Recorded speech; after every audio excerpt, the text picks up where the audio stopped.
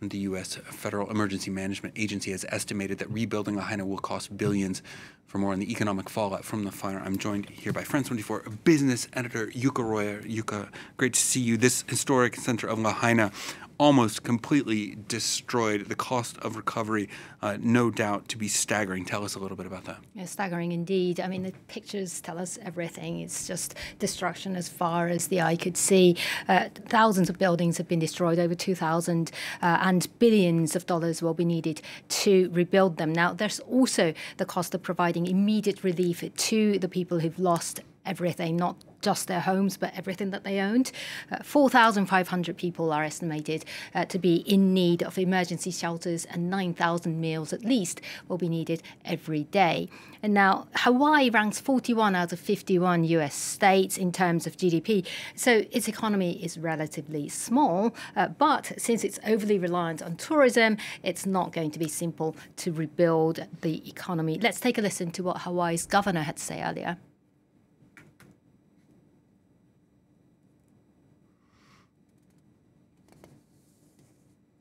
And when I say destruction, having been at ground zero twice, uh, there is very little left there.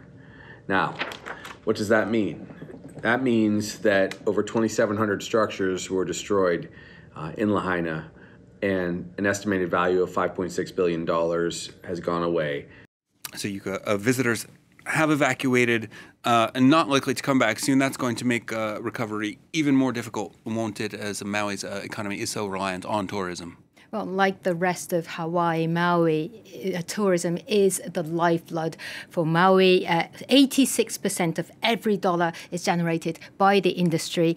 75% of jobs in the private sector is related to tourism. For the local government, it's also important. It's an important source of income. It gets more than $20 million annually in extra revenue from hotel room tax, mostly paid, obviously, uh, by visitors.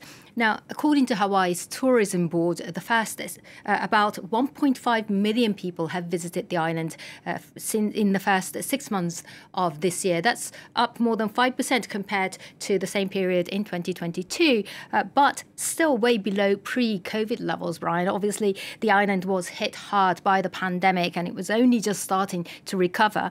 And at the height of the summer holiday season, we're seeing visitors leaving en masse and not uh, and not coming. And, and now locals have just no idea what the future holds for them. Let's take a listen to some of them. There's no real jobs around anymore, um, you know, around in town or anything, and like I said, the bakery where I worked is burned down. You'll walk down some of these streets and you, you don't even recognize which street you're on anymore. It's going to be a long time if not. So it's just it's just kind of hard in that way. To be honest, I don't know if it's ever going to be livable again. I don't know if we're going to. I mean, what's all this is like? Looks still smoldering. It's toxic or hazardous. I don't know.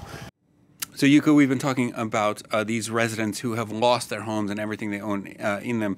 This is on an island that was already facing a housing shortage even before this fire hit, isn't it? Well, the fire engulfed everything in its path, but unfortunately, 86% of the destruction uh, was in residential areas. Now, Maui is home to some luxury uh, luxury resorts and second homes of some of the uh, known billionaires, such as Jeff Bezos and Oprah Winfrey. But the Lahaina fire destroyed vast swathes of ordinary homes uh, of middle income families, those who work in the tourism industry, who support it, as well as police officers and government uh, employees and so forth.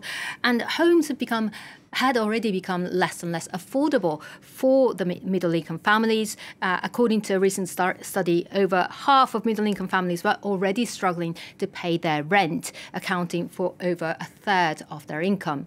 The disaster obviously is only set to exacerbate the problem.